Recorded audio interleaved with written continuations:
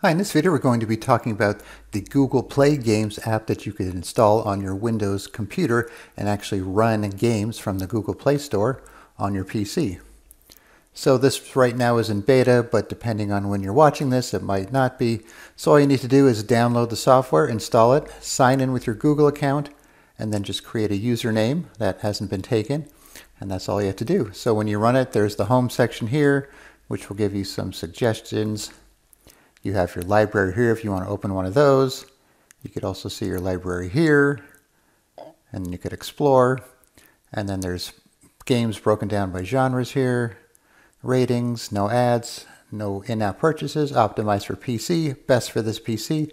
So this computer here has an older i9, 64 gigs of RAM. It's using the onboard video and it works fine, at least for the games I've tried it on. I think the only real requirement is you need a 4-core processor, which shouldn't be a problem these days. All right, so if you want to search for a game, let's just search for uh, some card games here, just to make it simple. And you kind of scroll down, see your results here. Let's just try Card Master.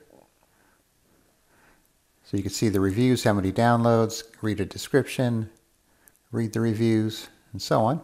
So we'll just click on install. So it's going to download it and install it. I think some of these games could be pretty large, so you might have to consider that. You'll also have a notification here as well when it's done.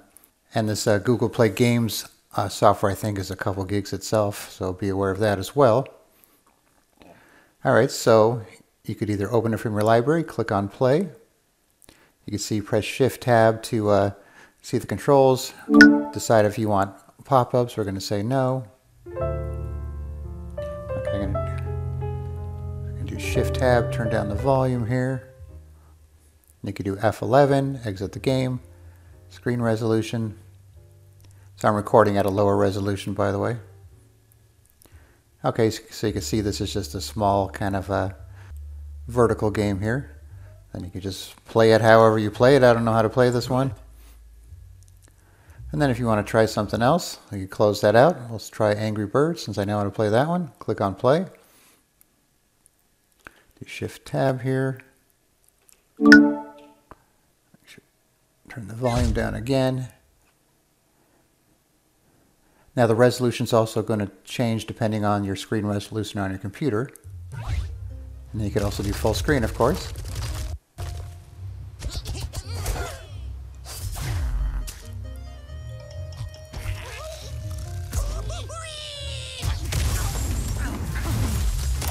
Just like that. And then here you can view your downloads if you want, uh, submit feedback, and then check out your user profile. So it's a pretty simple interface, uh, but it seems to work uh, quite well when it comes to downloading games. All right, so I'll put a link in the description where you could download Google Play Games, and you can try it out for yourself. All right, thanks for watching, and be sure to subscribe.